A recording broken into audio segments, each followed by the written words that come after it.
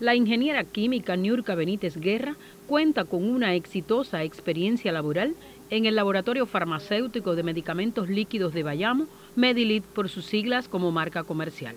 Estuve como tecnóloga hasta el 2011, cuando este, se me designó como especialista principal del área de investigación y desarrollo, donde fungí en esta tarea hasta eh, julio del 2019, donde por los resultados alcanzados ¿no? se decide por la dirección de la empresa asignarme como directora de desarrollo de la, de la empresa, que es el cargo que ocupo actualmente.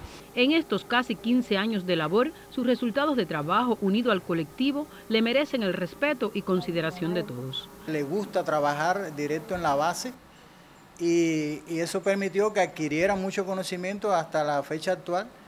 Aparte de eso, muy disciplinada, que le ha permitido emprender como dirigente, cuadro dirigente, como compañera de trabajo muy buena, lo que le ha permitido socializarse con nosotros y mantener una postura familiar. Ha impulsado proyectos muy importantes, como son el proyecto del Curmeri, el proyecto del orégano. Es una líder innata. Todos los trabajadores y los compañeros de aquí del área y de la empresa cuentan con ella y la tienen como referencia.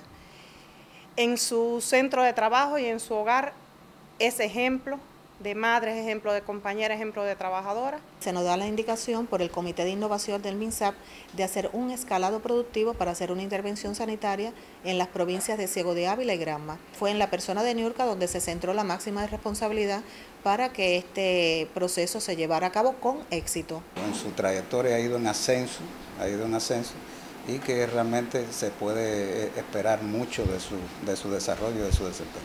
Como candidata al Parlamento cubano representa en primer lugar a la mujer cubana, a la mujer trabajadora, a la mujer emprendedora, a la profesional, a la ama de casa, a la mujer, a la compañera. Sabemos que con personas como, como ellas, las decisiones que se van a tomar, las leyes que se van a, a aprobar realmente eh, van a ser en beneficio para nuestro pueblo.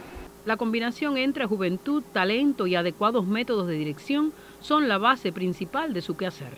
Pienso que para dirigir hay que autoprepararse, hay que conocer las actividades que uno dirige. Tengo la, la dicha ¿no? de haber estado, eh, haberme formado en esta área. Llevo unos cuantos años como tecnóloga, como especialista principal, o sea que vengo de la base. Hemos tratado de formar un equipo de trabajo donde colegiamos todas las decisiones, o sea, no sobre la base de la, imposición. El jefe debe este, aprender a negociar, a todas estas cuestiones. Y bueno, siempre trabajamos en equipo de trabajo. Esta joven bayamesa acumula méritos en su desempeño profesional que le permiten ser una de las candidatas a diputada a la décima legislatura del Parlamento cubano. Elena Lienz, Sistema Informativo de la Televisión Cubana.